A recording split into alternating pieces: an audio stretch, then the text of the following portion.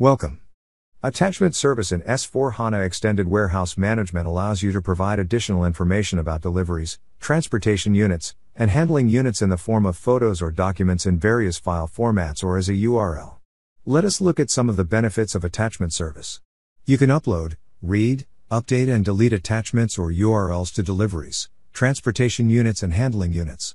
This can provide additional information about a delivery, a TU or an HU in the form of photos or documents. It helps you secure documentation needed in future follow up activities with suppliers, customers, or carriers. Attachment service is available for a number of EWM objects. For inbound deliveries, you can upload, read, update, or delete attachments through the Change Inbound Deliveries app, with the corresponding app for production in the Warehouse Monitor, under Inbound, Documents, Inbound Delivery.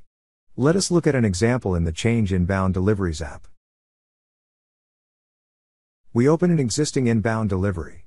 Under Attachments, we find the Upload button. We press it, and we can then choose between any documents on our accessible hard drives. In real life, this could be a photo of the received goods, a scanned copy of the bill of lading, or any other file. For outbound deliveries, you can use the Run Outbound Process apps for deliveries and production, respectively. In addition, the Warehouse Monitor, under Outbound, Documents, Outbound Delivery Order. For transportation units, attachments can be managed through the Run Outbound Process, Transportation Unit app.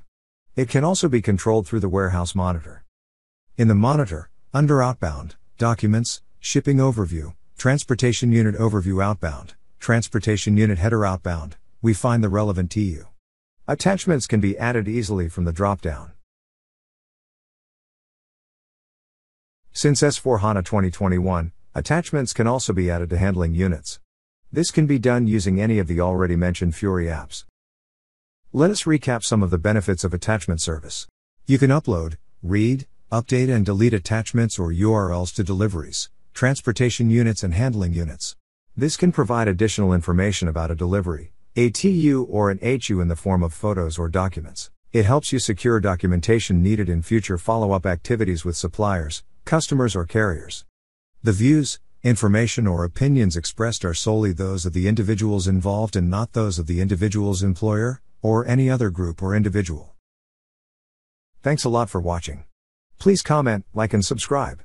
More videos like this are coming shortly. See you then.